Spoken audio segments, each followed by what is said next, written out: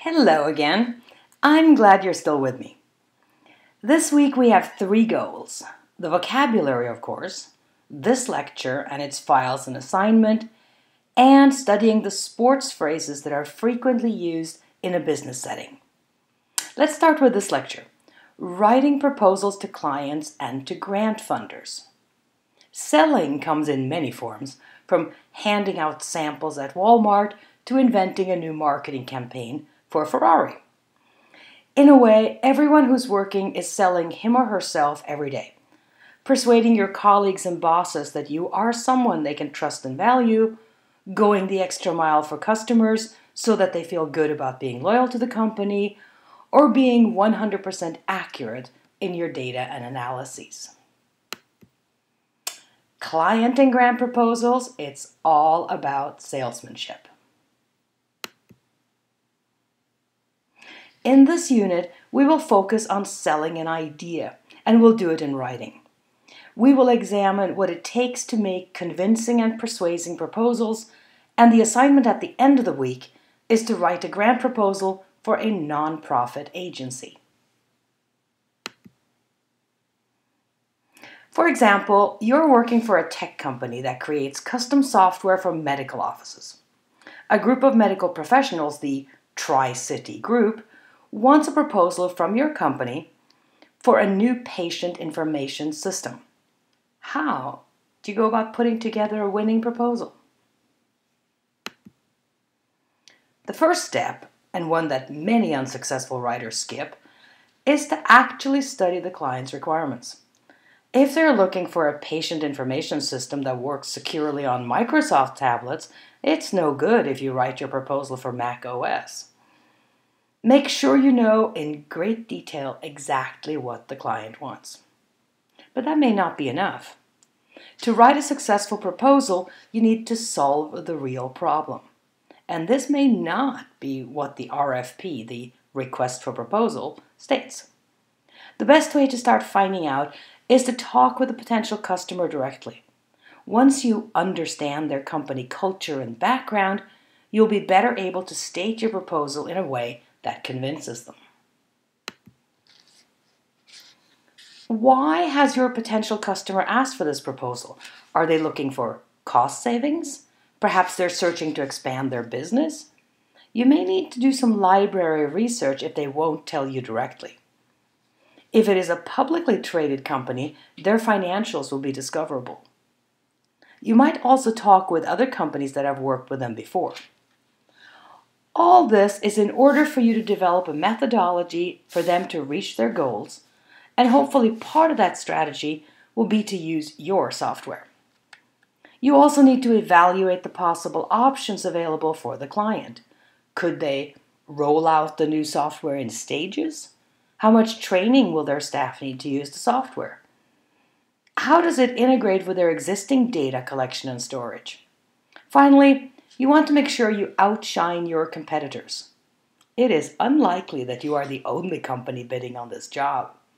Therefore, you need to emphasize your strengths. Perhaps you are smaller than your competitors, but you can promise a faster turnaround. Or perhaps you have the best client testimonials from similar projects in the past. You want them to choose you. Why should they choose you? Naturally, your textbook cannot go into as much detail as I've given above. Nevertheless, the authors offer some succinct advice. The main piece of advice is to lead with the benefits you can provide. You're not really selling software, you're selling convenience, or security, or growth potential. Whatever your primary benefits are, make sure that they bookend your proposal, both in the title or shortly thereafter, and then repeat it at the end. The book mentions the following proposal sections. Promise a benefit in the title, tell people where you're going, use bullets and headings, put your recommendations up front, and re emphasize the benefits to the client. You're not writing a marketing campaign in this lesson, but if you were, you might consider looking for the kinds of words that get the most clicks and likes. Here's a short list suddenly, now, announcing, introducing, improvement, amazing, sensational, remarkable, revolutionary, startling, miracle, magic, offer, quick, easy, wanted, challenge, compare, bargain, and hurry. This list was published in 1963, more than 50 years ago, but they're still valid today. However, for internet based campaigns, read the article itself at the link in this lesson. There are two aspects of grant writing that can make strong men cry selecting the right measurable outcomes for a social project and writing the budget. For the former, think about how you will know when people are feeling something. How do they behave? Do they do certain things more or less than previously? Those are measurable outcomes. A word of warning don't be too grand in what you hope to achieve. As they say in proposal writing, under promise and overperform. On this screen are seven components of a good and fundable grant proposal.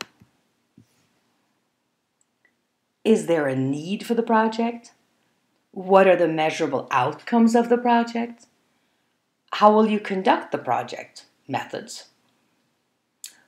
Why are you the right organization to carry out this project? How will you know when you're successful? What's your budget? How will the project become self sustaining?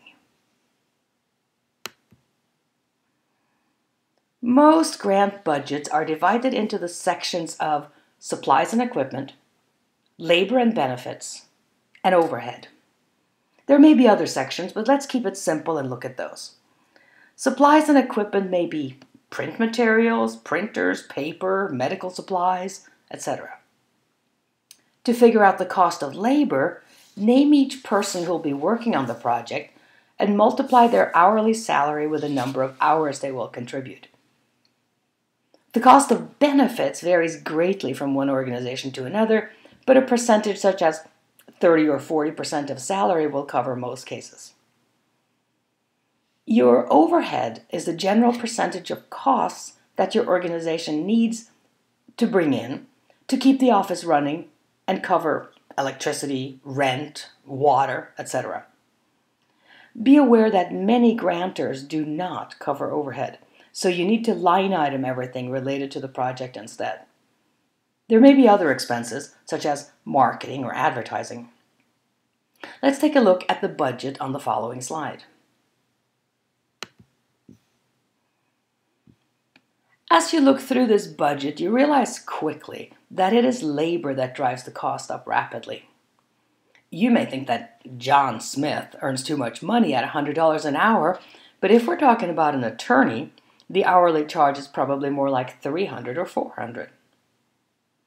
Advertising is expensive, yes, but you might be able to get a deal by depending on lower cost sources such as community newspapers or your community college radio station. Benefits at 25% is really underestimated. In most cases, benefits run at least 40% in order to give staff a decent, decent health insurance policy and other benefits and overhead at 30% of expenses? Huh, that would be a dream for most organizations. The dollars add up fast. So now that you're a bit shell shocked at the kinds of costs even a small organization incurs, let's look on the bright side. There are lots of charitable organizations in this and every state that hand out money by the millions for good causes. Your assignment in this lesson is to write a grant pre-proposal. The actual proposal is much longer than one page and is frequently done online with very specific questions and categories. You're basically writing a letter of inquiry. This letter, which is a mini proposal, is divided into the sections I explain in the assignment. If you can't get it down to a single page, but no worries. I will accept two or more pages as well. However, Try to be as succinct as you can. Grantors love brevity. Happy writing!